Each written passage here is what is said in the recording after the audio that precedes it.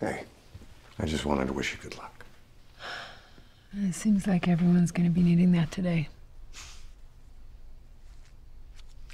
Whatever you decide to do, answer Forrestal's questions or not, I know you'll make the right choice. Thank you.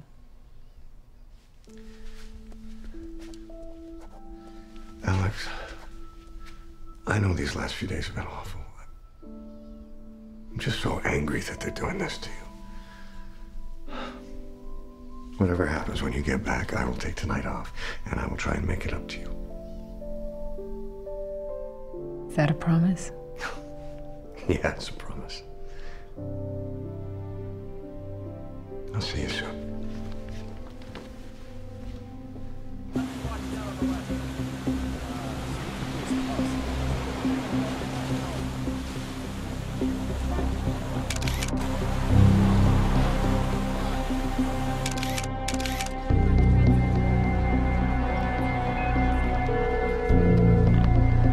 Chuck, can you run a plate?